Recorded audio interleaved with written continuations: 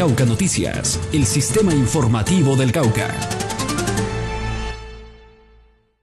Bueno, estamos felices de que eh, hayamos podido concretar una iniciativa tan importante como la de lograr privilegiar a los 13 municipios del norte del Cauca eh, con los cupos que se ofrecen en, los cuatro programas que tenemos en la sede de Santander de Quilichao.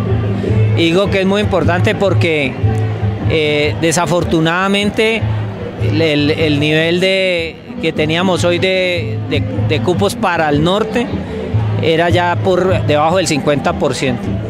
Con esta iniciativa lo que queremos es que todos los municipios eh, del norte del Cauca puedan tener la posibilidad de ingresar a la Universidad del Cauca. Tenemos municipios que no han tenido ni siquiera un estudiante en 10 años que llevan la universidad en el norte y entonces esta medida eh, va a permitir que ahora realmente tengan esa oportunidad nuestras y nuestros jóvenes nortecaucanos que tanto lo necesitan. Se va a hacer eh, privilegiando los primeros puestos de cada municipio, los primeros eh, puestos de las aspiraciones que tengan a los cuatro programas de cada municipio. El, 70%. De ahí los segundos puestos. Y si no, los tercer puestos, en el orden en que queden en la, inscripción. ¿Eso qué permite?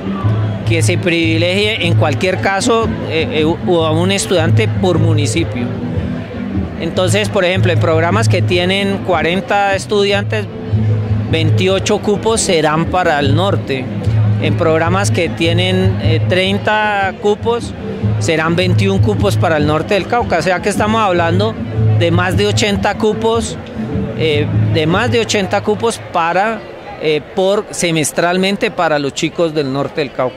Nosotros, yo creo personalmente que el gobierno de Gustavo Petro le debe mucho al Cauca, tuvo una, eh, una votación muy significativa, igualmente le debe mucho a las universidades públicas, a las y los jóvenes que votaron por esta opción de gobierno.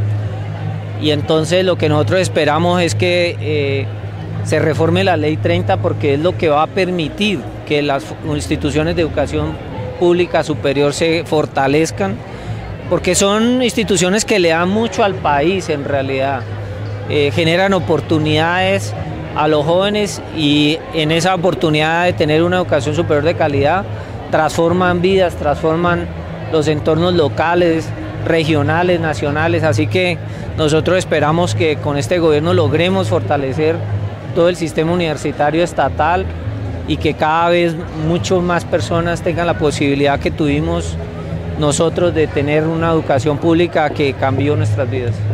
Cauca Noticias, el sistema informativo del Cauca.